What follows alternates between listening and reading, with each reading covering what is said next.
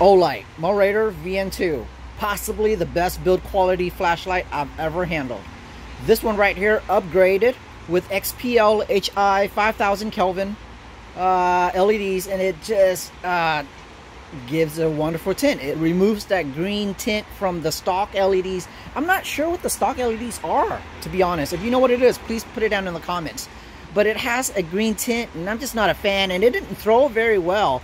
It did like 55 KCD. These XPLHI does 120 KCD, so that's uh, over twice the beam intensity. All right. I left the stock W2.1 throw LEDs in the center because uh, it's excellent from the factory. Pretty cool user interface. I'll show you guys the interface real quick here. This toggle switch uh, goes from up is throw and down is flood. And this, uh, the LEDs on the right side here is the battery indicator. Left side is the brightness level. And then you click to turn on the light. Now it's in flood. Slide it up for throw, down for flood. You can only do one at a time. You can't do both at a time. And in the beginning, I thought that was uh, deal killer. But then again, in person, it just makes sense. There's really no point in having a square throw hot spot in the middle of your flood beam. It just doesn't make any sense to me. Now it makes sense to have them individually lit. All right. Uh, and then you turn this dial left and right to adjust the brightness level. And it goes down rather low. All right. All right, let's take a look at the beam shot.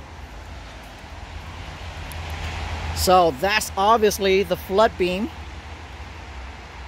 It's about 11,000 lumen, 120 KCD, as I've said. Wonderful tint. No more green from the factory LEDs. And just that the extra throw is, uh, I appreciate the extra throw for sure. It's twice the intensity. All right, and then you pull down this lever, or you push up the lever, the toggle switch, and you have, uh, what is it, 180 KCD? Yeah, I think so, 180 KCD throw, beam intensity. You're gonna have to look it up. I don't remember, I have terrible memory. But yeah, very impressive. And then again, you turn this dial to bring down the brightness, and then turn it to the right to bring it up. Very large focus.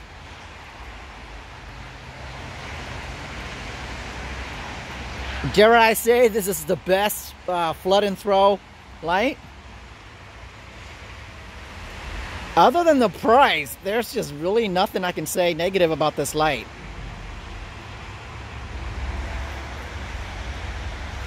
Bam! Look at that.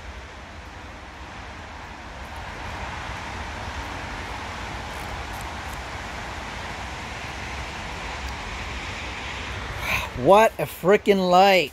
All right. Uh, one more thing I want to show you guys real quick. This thing uh, has a built-in USB-C charger, uh, charger port here.